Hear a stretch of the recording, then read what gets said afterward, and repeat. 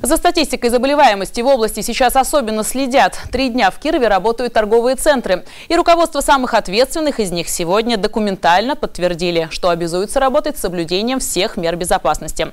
Один из центров торговли проверил сегодня глава региона. Все, решилось? Можно работать? Да, спасибо. Наличие масок, санитайзера и дистанций в торговых центрах сегодня проверил губернатор Игорь Васильев. По просьбе торгово-промышленной палаты и предпринимателей правительство разрешило торговым центрам открыться.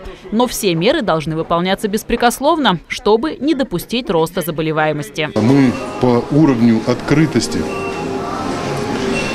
экономики, а это значит, что ну, кто, кто имеет возможность работать, да, кто осуществляет свою деятельность в условиях пандемии, занимаем 12 место в Российской Федерации. Мне кажется, это очень хороший показатель, потому что мы ответственны благодаря, опять же, там и руководству крупных предприятий, сотрудникам, и нашим э, правительством, объединением промышленников, предпринимателей смогли вот эти вот два с половиной-три месяца пройти очень нормально.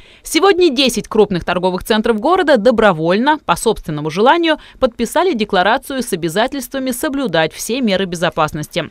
Среди них ЦУМ, Время простора, Фестиваль, Гринхаус, Глобус и другие. Большинство торговых центров относится очень ответственно к всем процессам. И ответственный бизнес имеет полное право на получение государственной поддержки как со стороны федерации, так и со стороны региональных э, властей. И ответственный бизнес должен получать получать эту поддержку. Смысл подписания этой декларации не только в том, что именно вы подтверждаете, что в вашем объекте будет, будут соблюдаться все нормы. Смысл в том, чтобы показать пример остальным.